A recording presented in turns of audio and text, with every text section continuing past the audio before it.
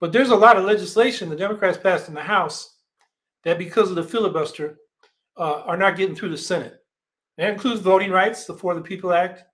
Uh, the Senate's going to maybe come back with the Freedom to Vote Act, a pared down version. The Equality Act, which bars discrimination based on sex, sexual orientation, and gender identity. DC statehood, the American Dream and Promise Act to deal with DACA uh, recipients, the codification of Roe in the Women's Health Protection Act, the PRO Act, the labor reform, the Protect Our Right to Organize Act, the $15 minimum wage, the Paycheck Fairness Act, reauthorization of the Violence Against Women Act, uh, net neutrality with the Save the Internet Act. These are all things that pass in the House. They can't get through the Senate because of that damn filibuster. And the Democratic leadership seems to be all right with that.